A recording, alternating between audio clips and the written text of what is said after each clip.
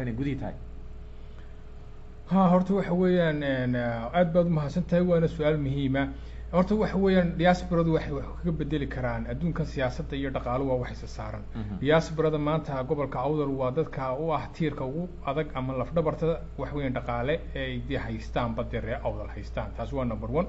Number two waxa weeyaan dadka diasporaha maanta dee waxay uga baahan yihiin gobolkii waa yar tahay. Inay de u tagaan nastiimo iyo inay u tagaan de markay galaan maaragtay beesha galaan inay ku nastaan meesha mooyaane ma carruurta dhaqan celis loo geynayo. Cidday wax la rabaan marka waxay wax ka bedeli karaan waxa weeyaan hadduu ilahay yidhahdo markuu noo soo gabagaboobo ee la doorto hoggaanka ee la doorto magaranaysa hoggaankaa siyaasadeed inuu toos shirka labaad uu ka dhaco waxa weeyaan gobolka awdal meelo ku dhow. Deetana markaa waxa weeyaan lagula tashado dadkii markaa deegaanka ahaa ee deegaanka ka soo jeeday isku xidhkoogana markaa la sameeyo dan markaa gudaha loo sii gudbo si wanaagsan.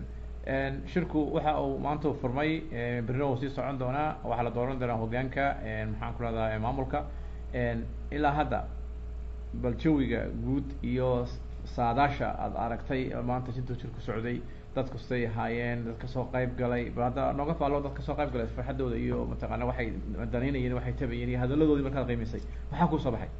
Wallahi horta waxa weeyaan cumarow horta qofka ka soo qayb galay maanta waa qof nasiib leh waa qof waxa weeyaan resumigiisana ay u galayso de isagoo u taagnaa yagleelkii ama haantii hoosta laga toliyey dee beesha bidabuursi hawlaheega siyaasadeed hawlaheega dhaqan waxa weeyaan maanta dadka yimiday very high level bay ahaayeen oo waxa weeyaan dee ma garanaysaa dad aada u faraxsan oo de nasiibna u helay. Waayo maanta waxa magaaladan aan joogno toban kun kama yara dee gadabuursiga ku nool magaalada odhawa sida dee la sheego. Ma hubo laakiin sida la sheego.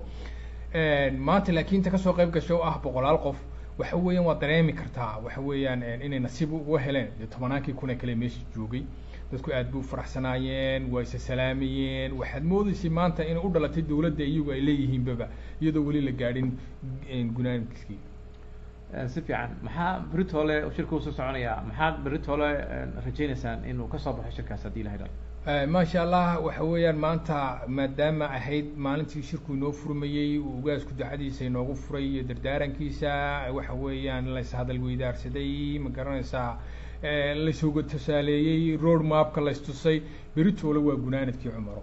Beritoole waxaa ka soo baxaya waxa weeyaan wax khuseeya kuwa gudaha jooga wax aniga khuseeya waxa caruurtayda khuseeya weeyaan wax beri soo bixi doonaa si fiican kaasi waxau ahaa doctor cabdiraxiim raxiim cabdiraxiim dugsiye oo wada garanaysaan oo afhayeenka shirka oo aan ka wareysananay jawiga shirku maanta ku bilaabmay.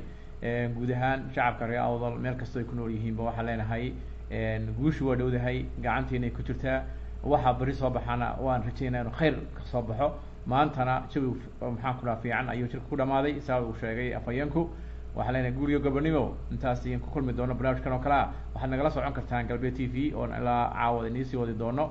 Barnaamijyada liveka ayaan ka soo gudbin doono shirka iyo mataqana khudbadii laga jeediyey. Aad baad umahadsantihin wasalaamu calaykum waraxmat ullahi tacaala wabarakaatu bismi llahi raxmaan raxiim assalaamu calaykum waraxmat ullahi tacaala wabarakaatu halkani waa galbeed t v ood naga daawanaysaan caalamka o dhan bartayada facebooka ee galbeed t v. Waa barnaamijyadani wacyigelinta oo maanta si toosa idinka imanaysa hoolka uu ka dhacayo shirka aayaka tashiga beelaha gadabursi ee ka dhacaya magaalada orowa ee xarunta dalka canada waxaa ila jooga hadda afhayeenka shirka cabdiraxiim dugsiye oo wada garanaysaan cabdiraxiim ku soo dhawow galbeed t v. Waa dhawahay cumarow aada iyo aad baad umahadsan tahay bal waxaad naga warantaa jawiga shirku maanta uu ku bilaabmay iyo ilaa hadda oo uu soo xidhmay jawigiisa bal naga waran bismi illahi raxmaan raxiim wasalaatu wasalaamu calaa rasuuli llahi sala allahu alayh wasalam galbeed t v waa umahad celinayaa iyo waxa weeyaan adal adal diaspora alliance. oo ah ma garanaysaa responsorka samaysay cumarow jawgu si degan buu ku bilaabmay sidii aada horeba aada u baahisay waxa weeyaan ugaaskeeni ugaaskii guud baa yimiday. Shirku waxaa shir gadabuusiya ay ka tashiga. Shirku waxa weeyaan shir allahuma salli calaa maxamed de ma garanaysaa si jawi qurux badan ku bilaabmay. Golihiisii dhaqanka heerka kii ugu sarreeyey de ma garanaysaa royalka ma arkaysaa ayaa joogay oo ah ugaaskiya waxaa joogay aqoon-yahano ku dhac leh. Waxaa kaloo nagala soo qeyb galay ma garanaysaa sida dadkii xili xildhibaanada iyo ka soo ma garanaysaa zoom bay kaga soo qeyb galeen xildhibaanada soomaaliya. Oo iyaga laftooda ma garanaysaa maanta dhiirigelin iyo u soo jeediyay ma garanaysaa dadkii de markaa shirka ka soo qayb galay dhammaantood. Waxaa kaloo bartayna la joogay wasiir cilmi oo ah ma garanaysaa eges wasiir ahaa oo dowladda federaalka soomaaliya. Oo isaguna ka hadlay aadna u falanqeeyey siyaasaddii wax loo baahan yahay si wanaagsan. Waxaad sheegtay jawiga inuu jawi farxad lahaa oo dhaqankii kas ugu sarreeyey ugaaska be ugaaska guud ee beelaha gadabursi ugaas cabdirashiid ugaas roble ugaas dawda uu ka soo qayb galay. Marka ugaaska laga yimaado dadka ka soo qayb galay waxaad sheegtay inay haayeen xildhibaano sumka ka soo qayb galay aqoon-yahan waxaan ku rahday gudaha dalka canada jooga. Shirku intiisa badan waxa uu ahaa dad shir ay maxaan ku rahdaa awoodda ma mataqaanaa dhaqaajiinka dhaqaajinayay uu ahaa maxaan ku rahaa diasporaha bal diasporahu kaalin intee leg bay ku yeel kule ay ku yeelan karaan. Inay wax ka bedelaan degaankii ay ka yimaadeen oo mataqaanaa shirkani uu ku saabsan yahay meesha loo socota inay gudihii tahay. Ha horta waxa weeyaan aad baad umahadsan tahay waana su'aal muhiima horta waxa weeyaan diasporadu waxay wax kaga bedeli karaan adduunkan siyaasadda iyo dhaqaalo waa wax isa saaran. Diasporada maanta gobolka awdal waa dadka u ah tiirka ugu adag ama lafdhabarta wax weeyaan dhaqaale ay de haystaan badde ree awdal haystaan. Taasi waa number one. Number two waxa weeyaan dadka diasporaha maanta dee waxay uga baahan yihiin gobolkii waa yar tahay inay de u tagaan nastiimo iyo inay u tagaan de markay galaan maaragtay beeshin galaan inay ku nastaan meesha mooyaane ma carruurta dhaqan celis loo geynayo. Cidday wax la rabaan marka waxay wax ka bedeli karaan waxa weeyaan. Hadduu ilahay yidhahdo markuu noo soo gabagaboobo ee la doorto hoggaanka ee la doorto magaranaysa hoggaankaa siyaasadeed inuu toos shirka labaad uu ka dhaco waxa weeyaan gobolka awdal meelo ku dhow. Deetana markaa waxa weeyaan lagula tashado dadkii markaa deegaanka ahaa ee deegaanka ka soo jeeday isku xidhkoogana markaa la sameeyo dan markaa gudaha loo sii gudbo. Si wanaagsan shirku waxa uu maanta u furmay berrina uu sii socon doonaa waxaa la dooran doonaa hoggaanka maxaan ku rahdaa maamulka. Ilaa hadda bal jawiga guud iyo saadaasha aada aragtay maanta siduu shirku socday dadku siday ahaayeen dad ka soo qayb galay bal hadda nooga faalo dad ka soo qayb galay farxaddooda iyo mataqaana waxay danaynayeen waxay tabayeen iyo hadaladoodii markaad qiimaysay maxaa kuu soo baxay wallahi horta waxa weeyaan cumarow horta qofka ka soo qayb galay maanta waa qof nasiib leh waa qof waxa weeyaan resumigiisana ay u galayso de isagoo u taagnaa yagleelkii ama haantii hoosta laga toliyey dee beesha gadabuursi hawlaheega siyaasadeed hawlaheega dhaqan. Waxa weeyaan maanta dadka yimiday very high level bay ahaayeen oo waxa weeyaan dee ma garanaysaa dad aada u faraxsan oo de nasiibna u helay. Waayo maanta waxa magaaladan aan joogno toban kun kama yara dee gadabuursiga ku nool. Magaalada odhawasa dee la sheego. Ma hubo laakiin sida la sheego. Maanta laakiin inta ka soo qayb gashay oo ah boqolaal qof waxa weeyaan waa dareemi kartaa. Waxa weeyaan inay nasiib uga heleen. Dee tobanaankii kun ee kale meesha joogay. Dadku aad bay u faraxsanaayeen waa isa salaamayeen waxaad moodeysay maanta inay u dhalatay dawladda iyagu ay leeyihiinbaba iyadoo weli la gaadhin gunaankiskii si fiican maxaa beritoole shirka u soo soconaya? Maxaad beritoole rajaynaysaan inuu ka soo baxo shirkaas haddii ilahay dhalo maasha allah waxa weeyaan maanta maadaama ahayd maalintii shirku inoo furmayey ugaasku dacadiisa inoogu furay iyo dardaarankiisa waxa weeyaan lays hadal weydaarsaday ma garanaysaa laysuga tusaaleeyey road mapka laystusay beritoole waa gunaanadkii cumaro beritoole waxaa ka soo baxaya waxa weeyaan wax khuseeya kuwa gudaha jooga wax aniga khuseeya waxa caruurtayda khuseeya weeyaan wax beri soo bixi doonaa si fiican kaasi waxau ahaa doctor cabdiraxiim raxiim cabdiraxiim dugsiye oo wada garanaysaan oo afhayeenka shirka oo aan ka wareysananay jawiga shirku maanta ku bilaabmay. Guud ahaan shacabka reer awdal meel kastoo ay ku nool yihiinba waxaan leenahay guushu waa dhowdahay gacantiinay ku jirtaa. Waxaa beri soo baxana waan rajeynaya inu khayr ka soo baxo maantana jawi maxaan ku dhaha fiican ayuu shirka ku dhamaaday saa uu sheegay afhayeenku waxaa leenahay guuriyo gobonimo intaas iyan ku kulmi doono barnaamijkan oo kale ah. Waxaad nagala socon kartaan galbeed t v oon ilaa caawada inii sii wadi doono. Barnaamijyada liveka ayaan ka soo gudbin doono shirka iyo mataqana khudbadii laga jeediyey. Aad baad umahadsantihin wasalaamu calaykum waraxmat ullahi tacaala wabarakaatu bismi illahi raxmaan raxiim assalaamu calaykum waraxmat ullahi tacaala wabarakaatu halkani waa galbeed t v ood naga daawanaysaan caalamka o dhan bartayada facebooka ee galbeed t v. Waa barnaamijyadani wacyigelinta oo maanta si toosa idinka imanaysa hoolka uu ka dhacayo shirka aayaka tashiga beelaha gadabursi ee ka dhacaya magaalada orowa ee xarunta dalka canada. Waxaa ila jooga hadda afhayeenka shirka cabdiraxiim dugsiye oo wada garanaysaan cabdiraxiim ku soo dhawow galbeed t v.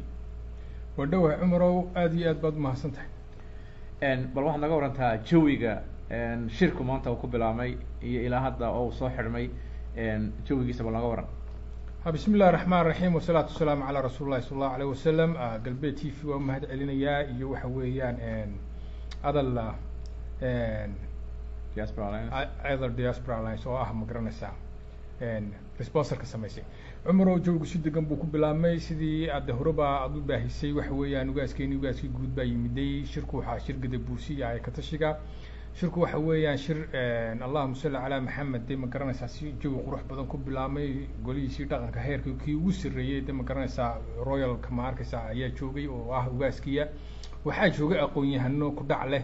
Waxaa kaloo nagala soo qeyb galay ma garanaysaa sida dadkii xili xildhibaanada iyo ka soo ma garanaysaa zoom bay kaga soo qeyb galeen xildhibaanada soomaaliya. Oo iyaga laftooda ma garanaysaa maanta dhiirigelin iyo u soo jeediyay ma garanaysaa dadkii de markaa shirka ka soo qeyb galay dhammaantood. Waxaa kaloo bartayna la joogay wasiir cilmi oo ah ma garanaysaa eges wasiir ahaa oo dowladda federaalka soomaaliya. Oo isaguna ka hadlay aadna u falanqeeyey siyaasadda iyo wax loo baahanya si wanaagsan. Waxaad sheegtay jawiga inuu jawi farxad la ahaa oo dhaqankii kas ugu sarreeyey ugaaska be ugaaska guud ee beelaha gadabuursi ugaas cabdirashiid ugaas roble ugaas dooda uu ka soo qayb galay. Marka ugaaska laga yimaado dadka ka soo qayb galay waxaad sheegtay inay haayeen xildhibaano suumka ka soo qayb galay. Aqoon-yahan maxaan ku rahday gudaha dalka canada jooga.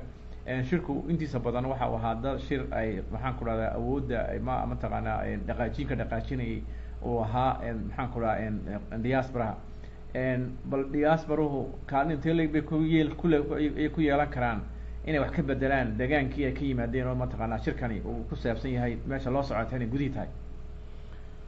Ha horta waxa weeyaan aad baad umahadsan tahay waana su'aal muhiima horta waxa weeyaan diasporadu waxay wax kaga bedeli karaan adduunkan siyaasadda iyo dhaqaalo waa wax isa saaran.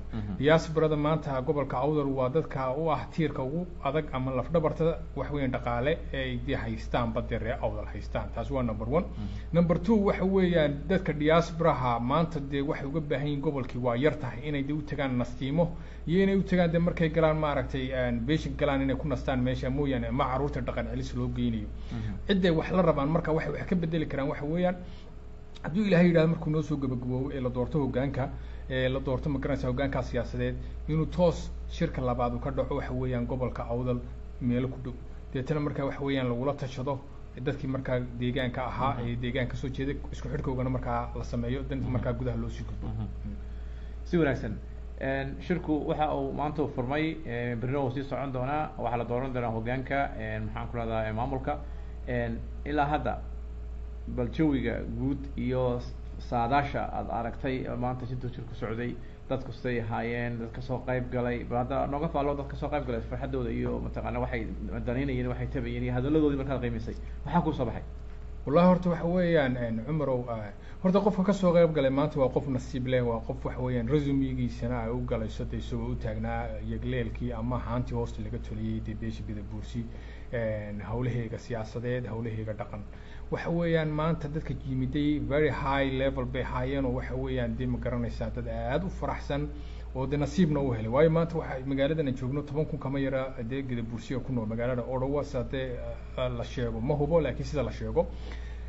Maanta laakiin ta ka soo qayb gashay oo ah boqolaal qof waxa weeyaan waa dareemi kartaa waxa weeyaan inay nasiib uga heleen. Dee tobanaankii kun ee kale meesha joogay dadku aad bay u faraxsanaayeen waa isa salaamayeen waxaad moodeysay maanta inay u dhalatay dawladda iyagu ay leeyihiinbaba iyadoo weli la gaadhin gunaankiskii si fiican. Maxaa beritole shirka u soo soconayaa maxaad beritole rajaynaysaan inuu ka soo baxo shirkaas haddii ilahay dhalo maasha allah waxa weeyaan maanta maadaama ahayd maalintii shirku inoo furmayey uu ugaasku ducadiisa inoogu furay iyo dardaarankiisa waxa weeyaan layshadal weydaarsaday. Ma garanaysaa laysuga tusaaleeyey road mapka laystusay beritoole waa gunaanadkii cumaro. Beritoole waxaa ka soo baxaya waxa weeyaan wax khuseeya kuwa gudaha jooga wax aniga khuseeya waxa caruurtayda khuseeya weeyaan wax beri soo bixi doonaa si fiican kaasi waxau ahaa doctor cabdiraxiim raxiim cabdiraxiim dugsiye oo wada garanaysaan oo afhayeenka shirka oo aan ka wareysananay jawiga shirku maanta ku bilaabmay. Guud ahaan shacabka reer awdal meel kastoo ay ku nool yihiinba waxaan leenahay guushu waa dhowdahay gacantiinay ku jirtaa. Waxaa beri soo baxaana waan rajaynaa inu khayr ka soo baxo. Maantana jawi maxaan ku fiican ayuu shirka ku dhamaaday saa uu sheegay afhayeenku. Waxaa leenahay guuriyo gobonimo intaas iyan ku kulmi doono barnaamijkan oo kale ah. Waxaad nagala socon kartaan galbeed t v oon ilaa caawad inii sii wadi doono. Barnaamijyada live-ka ayaan ka soo gudbin doono shirka iyo mataqana khudbadii laga jeediyey. Aad baad umahadsantihin wasalaamu calaykum waraxmat ullahi tacaala wabarakaatu bismi illahi raxmaan raxiim assalaamu calaykum waraxmat ullahi tacaala wabarakaatu halkani waa galbeed t v ood naga daawanaysaan caalamka o dhan bartayada facebooka ee galbeed t v. Waa barnaamijyadani wacyigelinta oo maanta si toosa idinka imanaysa. Hoolka uu ka dhacayo shirka aaya katashiga beelaha gadabursi ee ka dhacaya magaalada orowa ee xarunta dalka canada. Waxaa ila jooga hadda afhayeenka shirka cabdiraxiim dugsiye oo wada garanaysaan cabdiraxiim ku soo dhawow galbeed t v. Waa dhawahay cumarow aada iyo aad baad umahadsan tahay bal waxaad naga warantaa jawiga shirku maanta uu ku bilaabmay iyo ilaa hadda oo uu soo xidhmay jawigiisa bal naga waran. Bismi illahi raxmaan raxiim wasalaatu wasalaamu calaa rasuuli llahi sala allahu alayh wasalam galbeed t v waa umahad celinayaa iyo waxa weeyaan adal adal diaspora alliance oo ah ma garanaysaa? Responserka samaysay cumarow jawigu si degan buu ku bilaabmay. Sidii adde horeba aada u baahisay waxa weeyaan ugaaskeeni ugaaskii guud baa yimiday. Shirku waxaa shir gadabuursi iyo ayakatashiga shirku waxa weeyaan shir allahuma salli calaa maxamed de ma garanaysaa si jawi qurux badan ku bilaabmay? Golihiisii dhaqanka heerka kii ugu sarreeyey de ma garanaysaa royalka ma arkaysaa ayaa joogay oo ah ugaaskiya? Waxaa joogay aqoon-yahano ku dhac leh. Waxaa kaloo nagala soo qeyb galay ma garanaysaa sida dadkii xildhibaanada iyo ka soo ma garanaysaa zoom bay kaga soo qeyb galeen xildhibaanada soomaaliya. Oo iyaga laftooda ma garanaysaa maanta dhiirigelin iyo u soo jeediyay ma garanaysaa dadkii markaa shirka ka soo qeyb galay dhammaantood. Waxaa kaloo bartayna la joogay wasiir cilmi oo ah ma garanaysaa eges wasiir ahaa oo dowladda federaalka soomaaliya. Oo isaguna ka hadlay aadna u falanqeeyey siyaasadda iyo wax loo baahan yahy si wanaagsan. Waxaad sheegtay jawiga inuu jawi farxad la ahaa oo dhaqankii kas ugu sarreeyey ugaaska be ugaaska guud ee beelaha gadabursi ugaas cabdirashiid ugaas roble ugaas dooda uu ka soo qeyb galay. Marka ugaaska laga yimaado dadka ka soo qeyb galay waxaad sheegtay inay haayeen xildhibaano suumka ka soo qeyb galay aqoon-yahan maxaan ku rahday gudaha dalka canada jooga. Shirku intiisa badan waxa uu ahaa dad shir ay maxaan ku rahdaa awoodda ma mataqaanaa dhaqaajiinka dhaqaajinayay uu ahaa maxaan ku rahaa diasporaha bal diasporahu kaalin intee bay ku yeel kule ay ku yeelan karaan. Inay wax ka bedelaan degaankii ay ka yimaadeen oo mataqaanaa shirkani uu ku saabsan yahay meesha loo socota inay gudihii tahay. Ha horta waxa weeyaan aad baad umahadsan tahay waana su'aal muhiima horta waxa weeyaan diasporadu waxay wax kaga bedeli karaan. Adduunkan siyaasadda iyo dhaqaalu waa wax isa saaran.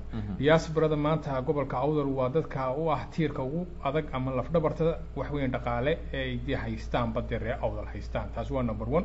Number two waxa weeyaan dadka diasporaha maanta dee waxay uga baahan yihiin gobolkii waa yar tahay. Inay de u tagaan nastiimo iyo inay u tagaan de markay galaan maaragtay beshin galaan inay ku nastaan meesha mooyaane ma carruurta dhaqan celis loo geynayo.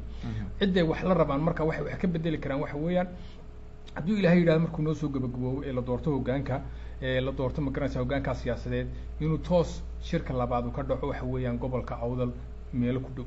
Deetana markaa waxa weeyaan lagula tashado dadkii markaa deegaanka ahaa ee deegaanka ka soo jeeday isku xidhkoogana markaa la sameeyo dan markaa gudaha loo sii gudbo. Si wanaagsan.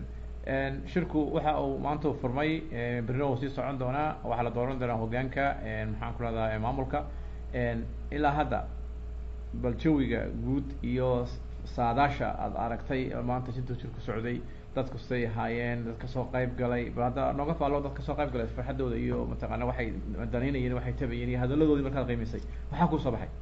Wallahi horta waxa weeyaan cumarow horta qofka ka soo qeyb galay maanta waa qof nasiib leh waa qof waxa weeyaan resumigiisana ay u galayso de isagoo u taagnaa yagleelkii ama haantii hoosta laga toliyey dee beesha gadabuursi hawlaheega siyaasadeed hawlaheega dhaqan. Waxa weeyaan maanta dadka yimiday very high level bay haayeen oo waxa weeyaan dee ma garanaysaa dad aada u faraxsan oo de nasiibna u helay. Waayo maanta waxa magaaladan joogno toban kun kama yara dee gadabuursiga ku nool magaalada odowa sida dee la sheego. Ma hubo laakiin sida la sheego. Maanta laakiin ta ka soo gasho oo ah boqolaal qof waxa weeyaan waa dareemi kartaa. Waxa weeyaan inay nasiib uga heleen. Tobanaankii kun ee kale meesha joogay dadku aad bay u faraxsanaayeen waa isa salaamayeen waxaad moodeysay maanta inay u dhalatay dawladda iyagu ay leeyihiinbaba iyadoo weli la gaadhin gunaankiskii si fiican. Maxaa beritole shirka u soo soconaya? Maxaad beritole rajaynaysaan inuu ka soo baxo shirkaas haddii la hidhao maasha allah waxa weeyaan maanta maadaama ahayd maalintii shirku inoo furmayey ugaasku ducadiisa inoogu furay iyo dardaarankiisa waxa weeyaan lays hadal weydaarsaday. Ma garanaysaa laysuga tusaaleeyey road mapka laystusay beritoole waa gunaanadkii cumaro. Beritoole waxaa ka soo baxaya waxa weeyaan wax khuseeya kuwa gudaha jooga wax aniga khuseeya waxa caruurtayda khuseeya weeyaan wax beri soo bixi doonaa si fiican. Kaasi waxau ahaa doctor cabdiraxiim raxiim cabdiraxiim dugsiye oo wada garanaysaan oo afhayeenka shirka oo aan ka wareysananay jawiga shirku maanta ku bilaabmay. Guud ahaan shacabka reer awdal meel kastoo ay ku nool yihiinba waxaan leenahay guushu waa dhowdahay gacantiinay ku jirtaa. Waxaa beri soo baxana waan rajeynaya inu khayr ka soo baxo. Maantana jawi maxaan ku dhaha fiican ayuu shirka ku dhamaaday saa uu sheegay afhayeenku. Waxaan leenahay guuriyo gobonimo intaas iyan ku kulmi doono barnaamijkan oo kale ah. Waxaad nagala socon kartaan galbeed t v oon ilaa caawada iniisii wadi doono. Barnaamijyada liveka ayaan ka soo gudbin doono shirka iyo mataqana khudbadii laga jeediyey. Aad baad umahadsantihin wasalaamu calaykum waraxmat ullahi tacaala wabarakaatu bismi llahi raxmaan raxiim assalaamu calaykum waraxmat ullahi tacaala wabarakaatu halkani waa galbeed t v ood naga daawanaysaan caalamka o dhan bartayada facebooka ee galbeed t v. Waa barnaamijyadani wacyigelinta oo maanta si toosa idinka imanaysa hoolka uu ka dhacayo shirka ayakatashiga beelaha gadabursi ee ka dhacaya magaalada orowa ee xarunta dalka canada. Waxaa ila jooga hadda afhayeenka shirka cabdiraxiim dugsiye oo wada garanaysaan cabdiraxiim ku soo dhawow galbeed t v. Waa dhawahay cumarow aada iyo aad baad umahadsan tahay bal waxaad naga warantaa jawiga shirku maanta uu ku bilaabmay iyo ilaa hadda oo uu soo xidhmay jawigiisa bal naga waran. Bismi illahi raxmaan raxiim wasalaatu wasalaamu calaa rasuuli llahi sala allahu alayh wasalam galbeed t v waa umahad celinayaa iyo waxa weeyaan adal adal diaspora alliance. oo ah ma garanaysaa responserka samaysay cumarow jawigu si degan buu ku bilaabmay sidii aada horeba aada u baahisay waxa weeyaan ugaaskeeni ugaaskii guud baa yimiday. Shirku waxaa shir gadabuursiya ay ka tashiga. Shirku waxa weeyaan shir allahuma salli calaa maxamed de ma garanaysaa si jawi qurux badan ku bilaabmay? Golihiisii dhaqanka heerka kii ugu sarreeyey de ma garanaysaa royalka ma arkaysaa ayaa joogay oo ah ugaaskiya? Waxaa joogay aqoon-yahano ku dhac leh. Waxaa kaloo nagala soo qeyb galay ma garanaysaa sida dadkii xili xildhibaanada iyo ka soo ma garanaysaa zoom bay kaga soo qeyb galeen xildhibaanada soomaaliya. Oo iyaga laftooda ma garanaysaa maanta dhiirigelin iyo u soo jeediyay ma garanaysaa dadkii de markaa shirka ka soo qeyb galay dhammaantood. Waxaa kaloo bartayna la joogay wasiir cilmi oo ah ma garanaysaa eges wasiir ahaa oo dowladda federaalka soomaaliya. Oo isaguna ka hadlay aadna u falanqeeyey siyaasadda iyo wax loo baahan yahay si wanaagsan. Waxaad sheegtay jawiga inuu jawi farxad lahaa oo dhaqankii kas ugu sarreeyey ugaaska be ugaaska guud ee beelaha gadabursi ugaas cabdirashiid ugaas roble ugaas dawda uu ka soo qeyb galay. Marka ugaaska laga yimaado dadka ka soo qeyb galay waxaad sheegtay inay haayeen xildhibaano sumka ka soo qeyb galay aqoon-yahan maxaan ku rahday gudaha dalka canada jooga. Shirku intiisa badan waxa uu ahaa dad shir ay maxaan ku rahdaa awoodda ma mataqaanaa dhaqaajiinka dhaqaajinayay uu ahaa maxaan ku rahaa diasporaha bal diasporahu kaalin intee leg bay ku yeel kule ku yeelan karaan. Inay wax ka bedelaan degaankii ay ka yimaadeen oo mataqaanaa shirkani uu ku saabsan yahay meesha loo socota inay gudihii tahay. Ha horta waxa weeyaan aad baad umahadsan tahay waana su'aal muhiima horta waxa weeyaan diasporadu waxay wax kaga bedeli karaan adduunkan siyaasadda iyo dhaqaalo waa wax isa saaran. Diasporada maanta gobolka awdal waa dadka u ah tiirka ugu adag ama lafdhabarta wax weeyaan dhaqaale ee de haystaan badde ree awdal haystaan. Taasi waa number one. Number two waxa weeyaan dadka diasporaha maanta dee waxay uga baahan yihiin gobolkii waa yar tahay inay de u tagaan nastiimo iyo inay u tagaan de markay galaan maaragtay beesha galaan inay ku nastaan meesha mooyaane ma carruurta dhaqan celis loo geynayo. Cidday wax la rabaan marka waxay wax ka bedeli karaan waxa weeyaan hadduu ilahay yidhahdo markuu noo soo gabagaboobo ee la doorto hogaanka ee la doorto ma garanaysa hogaankaa siyaasadeed inuu toos shirka labaad uu ka dhaco waxa weeyaan gobolka awdal meelo ku dhow. Deetana markaa waxa weeyaan lagula tashado dadkii markaa deegaanka ahaa ee deegaanka ka soo jeeday isku xidhkoogana markaa la sameeyo dan markaa gudaha loo sii gudbo. Si wanaagsan. Shirku waxa uu maanta u furmay berrina uu sii socon doonaa waxaa la dooran doonaa hogaanka maxaan ku rahdaa maamulka. Ilaa hadda bal jawiga guud iyo saadaasha aada aragtay maanta sintuu shirku socday dadku siday ahaayeen dad ka soo qeyb galay bal hadda nooga faalo dad ka soo qeyb galay farxadooda iyo mataqaana waxay danaynayeen waxay tabayeen iyo hadaladoodii markaad qiimaysay. Maxaa kuu soo baxay. Wallahi horta waxa weeyaan cumarow horta qofka ka soo qayb galay maanta waa qof nasiib leh waa qof waxa weeyaan resumigiisana ay u galayso de isagoo u taagnaa yagleelkii ama haantii hoosta laga toliyey dee beesha bida buursi hawlaheega siyaasadeed hawlaheega dhaqan waxa weeyaan maanta dadka yimiday very high level bay haayeen oo waxa weeyaan dee ma garanaysaa. Dad aada u faraxsan oo de nasiibna u helay. Waayo maanta waxa magaaladan aan joogno toban kun kama yara dee geda buursiga ku nool magaalada odhawas dee la sheego. Ma hubo laakiin sida la sheego. Maanta laakiin inta ka soo qayb gashay oo ah boqolaal qof waxa weeyaan waa dareemi kartaa. Waxa weeyaan inay nasiib uga heleen. Dee tobanaankii kun ee kale meesha joogay dadku aad bay u faraxsanaayeen waa isa salaamayeen waxaad moodeysay maanta inay u dhalatay dawladda iyagu ay leeyihiinbaba iyadoo weli la gaadhin gunaankiskii si fiican. Maxaa beritoole shirka u soo soconaya? Maxaad beritoole rajaynaysaan inuu ka soo baxo shirkaas haddii ilahay dhalo maasha allah waxa weeyaan maanta maadaama ahayd maalintii shirku inoo furmayey uu ugaasku dacadiisa inoogu furay iyo dardaarankiisa waxa weeyaan layshadal weydaarsaday ma garanaysaa laysuga tusaaleeyey road mapka laystusay beritoole waa gunaanadkii cumaro. Beritoole waxaa ka soo baxaya waxa weeyaan wax khuseeya kuwa gudaha jooga wax aniga khuseeya waxa caruurtayda khuseeya weeyaan wax beri soo bixi doonaa si fiican kaasi waxau ahaa doctor cabdiraxiim raxiim cabdiraxiim dugsiye oo wada garanaysaan oo afhayeenka shirka oo aan ka wareysananay jawiga shirku maanta ku bilaabmay. Guud ahaan shacabka reer awdal meel kastoo ay ku nool yihiinba waxaan leenahay guushu waa dhowdahay gacantiinay ku jirtaa. Waxaa beri soo baxaana waan rajeynaya inu khayr ka soo baxo. Maantana jawi maxaan ku dhaha fiican ayuu shirka ku dhamaaday saa uu sheegay afhayeenku. Waxaa leenahay guuriyo gobonimo intaas iyan ku kulmi doono barnaamijkan oo kale ah. Waxaad nagala socon kartaan galbeed t v oon ilaa caawada iniisii wadi doono. Barnaamijyada liveka ayaan ka soo gudbin doono shirka iyo mataqana khudbadii laga jeediyey. Aad baad umahadsantihin wasalaamu calaykum waraxmat ullahi tacaala wabarakaatu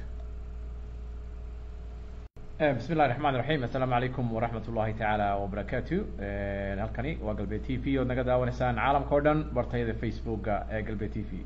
Waa barnaamijyadani wacyigelinta oo maanta si toosa idinka imanaysa.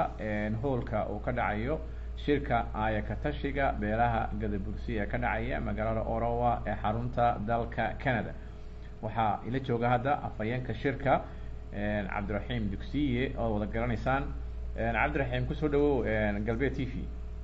Waa dhawahay cumarow aada iyo aad baad umahadsan tahay bal waxaad naga warantaa jawiga shirku maanta uu ku bilaabmay iyo ilaa hadda oo uu soo xidhmay jawigiisa bal naga waran. Bismi illahi raxmaan raxiim wasalaatu wasalaamu calaa rasuuli llahi sala allahu alayh wasalam galbeed t v waa mahad celinayaa iyo waxa weeyaan adal adal diaspora alliance. oo ah ma garanaysaa responserka samaysay jawigu si degan buu ku bilaabmay. Sidii aada horeba aada u baahisay waxa weeyaan ugaaskeeni ugaaskii guud baa yimiday. Shirku waxaa shir gadabuusi iyo ayakatashiga shirku waxa weeyaan shir allahuma salli calaa maxamed de ma garanaysaa si jawi qurux badan ku bilaabmay? Golihiisii dhaqanka heerka kii ugu sarreeyey de ma garanaysaa royalka ma arkaysaa ayaa joogay oo ah ugaaskiya? Waxaa joogay aqoon-yahano ku dhac leh. Waxaa kaloo nagala soo qeyb galay ma garanaysaa sida dadkii xili xildhibaanada iyo ka soo ma garanaysaa zoom bay kaga soo qeyb galeen xildhibaanada soomaaliya. Oo iyaga laftooda ma garanaysaa maanta dhiirigelin iyo u soo jeediyay ma garanaysaa dadkii markaa shirka ka soo qeyb galay dhammaantood. Waxaa kaloo bartayna la joogay wasiir cilmi oo ah ma garanaysaa eges wasiir ahaa oo dowladda federaalka soomaaliya. Oo isaguna ka hadlay aadna u falanqeeyey siyaasadda iyo wax loo baahanya si wanaagsan. Waxaad sheegtay jawiga inuu jawi farxad la ahaa oo dhaqankii kas ugu sarreeyey ugaaska be ugaaska guud ee beelaha gadabursi ugaas cabdirashiid ugaas roble ugaas dooda uu ka soo qayb galay. Marka ugaaska laga yimaado dadka ka soo qayb galay waxaad sheegtay inay haayeen xildhibaano suumka ka soo qayb galay aqoon-yahan maxaan ku rahday gudaha dalka canada jooga. Shirku intiisa badan waxa uu ahaa dad shir ay maxaan ku rahdaa awoodda ma mataqaanaa dhaqaajiinka dhaqaajinayay uu ahaa maxaan ku rahaa diasporaha bal diasporuhu kaalin intee leg bay ku yeelan karaan inay wax ka bedelaan degaankii ay ka yimaadeen oo mataqaanaa shirkani uu ku saabsan yahay meesha loo socota inay gudihii tahay. Ha horta waxa weeyaan aad baad umahadsan tahay waana su'aal muhiima horta waxa weeyaan diasporadu waxay wax kaga bedeli karaan. Adduunkan siyaasadda iyo dhaqaalu waa wax isa saaran. Diasporada maanta gobolka awdal waa dadka u ah tiirka ugu adag ama lafdhabarta wax weeyaan dhaqaale ee de haystaan badde ree awdal haystaan. Taas waa number one.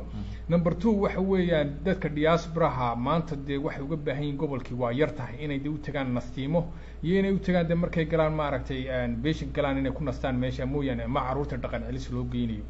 Cidday wax la rabaan marka waxay wax ka bedeli karaan waxa weeyaan hadduu ilahay yidhahdo markuu noo soo gabagaboobo ee la doorto hoggaanka ee la doorto magaranaysa hoggaankaa siyaasadeed inuu toos shirka labaad uu ka dhaco waxa weeyaan gobolka awdal meelo ku dhow. Deetana markaa waxa weeyaan lagula tashado dadkii markaa deegaanka ahaa ee deegaan ka soo jeeday isku xidhkoogana markaa la sameeyo dan markaa gudaha loo sii gudbo. Si wanaagsan. Shirku waxa uu maanta furmay berrina uu sii socon doonaa waxaa la dooran doonaa hoggaanka maxaan ku rahdaa maamulka. Ilaa hadda bal jawiga guud iyo saadaasha aada aragtay maanta sintuu shirku socday dadku siday ahaayeen dad ka soo qayb galay. Bal hadda nooga faalo dad ka soo qayb galay farxaddooda iyo mataqaana waxay danaynayeen waxay tabayeen iyo hadaladoodii markaad qiimisay maxaa kuu soo baxay. Wallahi horta waxa weeyaan cumarow horta qofka ka soo qayb galay maanta waa qof nasiib leh waa qof waxa weeyaan resumigiisana ay u galayso de isagoo u taagnaa yagleelkii ama haantii hoosta laga toliyey dee beesha gadabuursi hawlaheega siyaasadeed hawlaheega dhaqan waxa weeyaan maanta dadka yimiday very high level bay haayeen oo waxa weeyaan dee ma garanaysaa dad aada u faraxsan oo de nasiibna u helay. Waayo maanta waxa magaaladan aan joogno toban kun kama yara dee gadabuursiga ku nool magaalada odhawa sida dee la sheego. Ma hubo laakiin sida la sheego. Maanta laakiin inta ka soo qayb gashay oo ah boqolaal qof waxa weeyaan waa dareemi kartaa. Waxa weeyaan inay nasiib uga heleen. Dee tobanaankii kun ee kale meesha joogay dadku aad bay u faraxsanaayeen waa isa salaamayeen waxaad moodeysay maanta inay u dhalatay dawladda iyagu ay leeyihiinbaba iyadoo weli la gaadhin gunaankiskii si fiican. Maxaa beritole shirka u soo soconaya maxaad beritole rajaynaysaan inuu ka soo baxo shirkaas haddii la hidhao maasha allah waxa weeyaan maanta maadaama ahayd maalintii shirku inoo furmayey ugaasku dacadiisa inoogu furay iyo dardaarankiisa waxa weeyaan lays hadal weydaarsaday ma garanaysaa laysuga tusaaleeyey road mapka laystusay beritoole waa gunaanadkii cumaro. Beritoole waxaa ka soo baxaya waxa weeyaan wax khuseeya kuwa gudaha jooga wax aniga khuseeya waxa caruurtayda khuseeya weeyaan wax beri soo bixi doonaa. Si fiican kaasi waxau ahaa doctor cabdiraxiim raxiim cabdiraxiim dugsiye oo wada garanaysaan oo afhayeenka shirka oo aan ka wareysananay jawiga shirku maanta ku bilaabmay. Guud ahaan shacabka reer awdal meel kastoo ay ku nool yihiinba waxaan leenahay guushu waa dhowdahay gacantiinay ku jirtaa. Waxaa beri soo baxana waan rajaynaa inu khayr ka soo baxo. Maantana jawi maxaan ku fiican ayuu shirka ku dhamaaday. Saa uu sheegay afhayeenku. Waxaa leenahay guuriyo gobonimo intaas iyan ku kulmi doono barnaamijkan oo kale. Ah waxaad nagala socon kartaan galbeed t v oo ilaa caawad iniisii wadi doono. Barnaamijyada liveka ayaan ka soo gudbin doono shirka iyo mataqana khudbadii laga jeediyey. Aad baad umahadsantihin wasalaamu calaykum waraxmat ullahi tacaala wabarakaatu bismi illahi raxmaan raxiim assalaamu calaykum waraxmat ullahi tacaala wabarakaatu halkani waa galbeed t v ood naga daawanaysaan caalamka o dhan bartayada facebooka ee galbeed t v. Waa barnaamijyadani wacyigelinta oo maanta si toosa idinka imanaysa hoolka uu ka dhacayo shirka aayaka tashiga beelaha gadabursi ee ka dhacaya magaalada orowa ee xarunta dalka canada.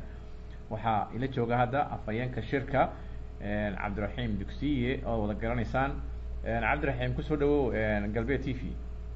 Waa dhawahay cumarow aada iyo aad baad umahadsan tahay bal waxaad naga warantaa jawiga shirku maanta uu ku bilaabmay iyo ilaa hadda oo uu soo xidhmay jawigiisa bal naga waran bismi illahi raxmaan raxiim wasalaatu wasalaamu calaa rasuuli llahi sala allahu alayh wasalam galbeed t v waa umahad celinayaa iyo waxa weeyaan adal adal diaspora alliance. Oo ah ma garanaysaa responserka samaysay cumarow jawigu si degan buu ku bilaabmay sidii adde horeba aada u baahisay waxa weeyaan ugaaskeeni ugaaskii guud baa yimiday. Shirku waxaa shir gadabuursiya ay ka tashiga. Shirku waxa weeyaan shir allahuma salli calaa maxamed de ma garanaysaa si jawi qurux badan ku bilaabmay. Golihiisii dhaqanka heerka kii ugu sarreeyey de ma garanaysaa royalka ma arkaysaa ayaa joogay oo ah ugaaskiya. Waxaa joogay aqoon-yahano ku dhac leh.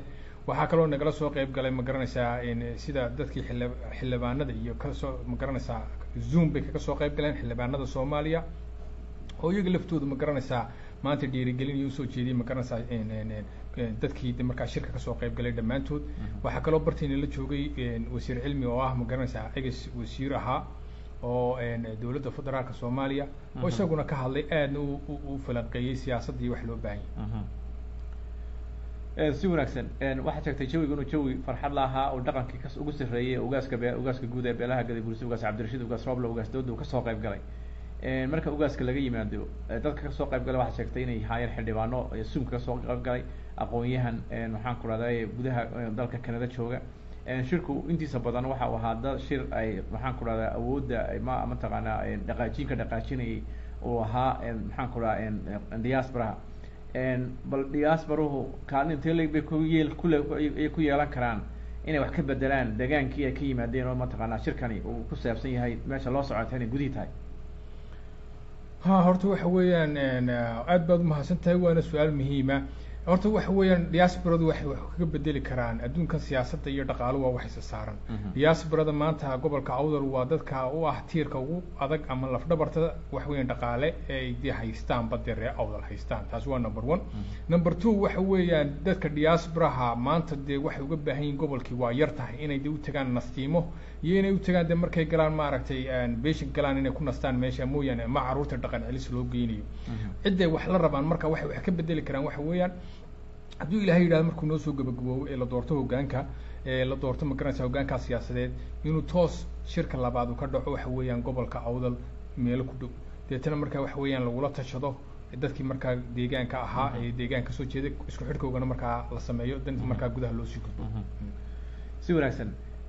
Shirku waxa uu maanta furmay berrina uu sii socon doonaa waxaa la dooran doonaa hoggaanka maxaan ku rahdaa maamulka. Ilaa hadda bal jawiga guud iyo saadaasha aada aragtay maanta sintuu jirku socday dadku siday ahaayeen dad ka soo qayb galay hadda nooga faalo dad ka soo qayb galay farxadooda iyo mataqaana waxay danaynayeen waxay tabayeen iyo hadaladoodii markaad qiimaysay. Maxaa ku soo baxay. Wallahi horta waxa weeyaan cumarow horta qofka ka soo qayb galay maanta waa qof nasiib leh waa qof waxa weeyaan resumigiisana ay u galayso de isagoo u taagnaa yagleelkii ama haantii hoosta laga toliyey dee beesha gadabuursi hawlaheega siyaasadeed hawlaheega dhaqan waxa weeyaan maanta dadka yimiday very high level bay ahaayeen oo waxa weeyaan dee ma garanaysaa dad aada u faraxsan oo de nasiibna u helay. Waayo maanta waxa magaaladan aan joogno toban kun kama yara dee gadabuursiga ku nool magaalada odhawas hadee la sheego. Ma hubo laakiin sida la sheego. Maanta laakiin inta ka soo qayb gasho ah boqolaal qof waxa weeyaan waa dareemi kartaa. Waxa weeyaan inay nasiib uga heleen. Dee tobanaankii kun ee kale meesha joogay. Dadku aad bay u faraxsanaayeen waa isa salaamayeen waxaad moodaysa